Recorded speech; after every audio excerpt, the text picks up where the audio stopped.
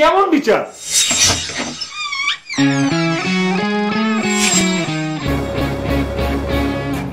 কি রে বাবা কারেন্ট মতো খারাপ কেন? আয় পর। হবে দেখছেন কি বালান্সি তিনজনে হয়ে যাইব। মারের গোষ্ঠী দাঁড়াও। ভয় পাইতেছিস কেন? বাবরি তো সেটিং ভাবি নিজে গাইব তোরে কিচ্ছু করব না। ভাবি কিছু না করলে ভাই কইব এই ভাবি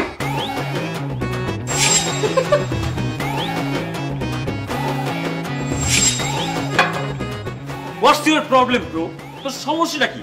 কত বল হোয়াট কতবার মানে? একবারই তো এমন করতে পারি নাই। কস কি? দেড় ঘণ্টা পার হয়ে গেল। এখন একবারে করস না। এই মামা এই প্রবলেমটা কার? তোর না ভাবি আরে প্রবলেমের জায়গাটাতে পর্যন্ত তো যাইতে হবে। ওই জায়গা পর্যন্তই তো যাইতে পারি নাই। তোর সাথে শেয়ার করলাম না? এইটাতে মাল মাইন খাইছে। খায়াজের রুমে ঢুকছে ঢুকে সে ওয়াশরুমে যাবে তার ফ্রেশ হইতে হবে ওকে গেল। তারপর হাত মুখ ধুইলো গোসলও করল আমারও গোসল করালো সেখান থেকে আবার চিরুনি দিয়ে চুল চাইলো এমনি এমনি করে সবসময় কেটে গেছে মামা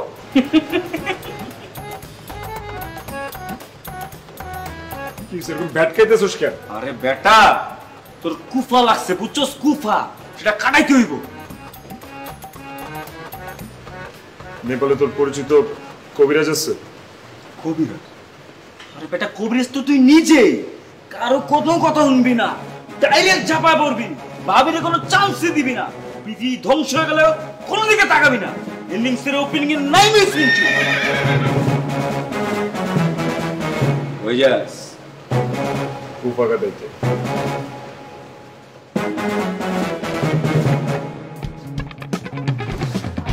আমার বাসরে কিন্তু কুফা লেগে গেছে না কোনো দিকে তাকানো যাবে না কোনো কথা বলা যাবে না। এই কুফা আগে ছুটাইতে হবে ওকে?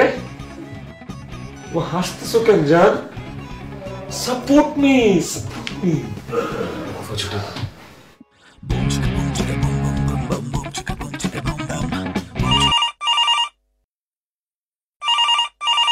এখন আবার ফোন দিল কোন বাজলে বাজুক পৃথিবী আজকে ধ্বংস হয়ে যাক উল্টায় পাল্টায় যাক।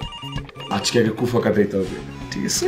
তারপর বাকি সব কিছু আরে জান একটা মেজর কিছু তো হতে পারে তাই না?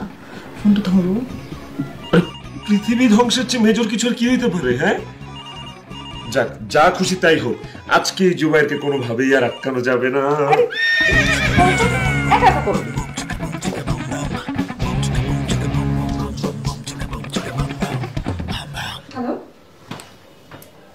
আচ্ছা আচ্ছা ঠিক আছে ঠিক আছে আমি আসছি।